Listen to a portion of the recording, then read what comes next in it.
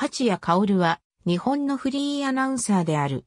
MBS の元アナウンサーで MBS ラジオをはじめとする中央競馬中継の実況で知られる。北海道函館市出身、神奈川県横須賀市育ち。早稲田大学政治経済学部卒業後の1969年に MBS へ入社した。同期入社のアナウンサーに、尾形健吾などがいる。入社直後からスポーツアナウンサーとして活動。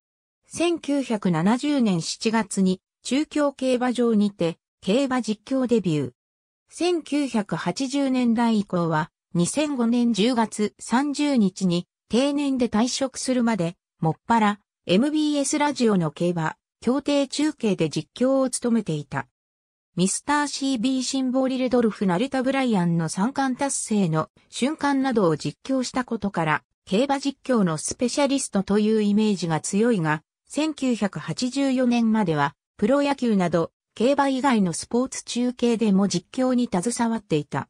定年退職を機に、中央競馬の主要レースの実況担当から優退。その後は、ラジオ、関西パーフェクト競馬の第一部の実況、進行やサンデー競馬中継民らの競馬のリポーターを務める傍ら、大阪スポーツの競馬面で、早耳マイク八や薫というコラムを執筆していた。また、MBS 時代から長きにわたって、週刊競馬ブックのラジオ CM でナレーターを担当。MBS ラジオが不定期で放送する住の江協定、中継の実況や FM 住の江のパーソナリティとしても活躍していた。近年は日本中央競馬会が主催する中央競馬 GI 競争の展望イベントや立東トレーニングセンターの競走馬、調教公開などで司会を務めている。2012年からは MBS 時代の同僚、野村啓治がパーソナリティを務める野村での村田 EX トラ。F 定期でゲスト出演。その一方で2007年のスプリンターズステークス中継を最後に、長らく競馬実況の現場から遠ざかっていた。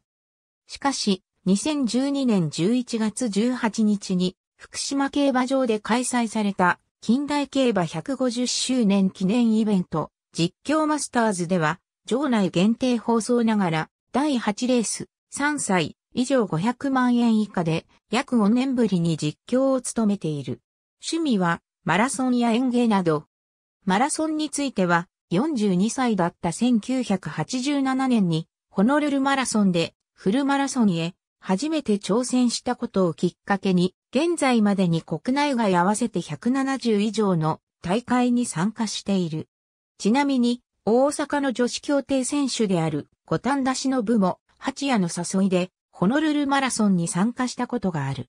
MBS のアナウンサー時代には、MBS テレビで水曜日に放送されていた同社アナウンサー総出演の番組アドリブランドにも随時出演。収録、放送日が競馬の追い切り取材日と重なっていた関係で他のアナウンサーより出演の頻度は少なかったものの以下の逸話を残した。ありがとうございます。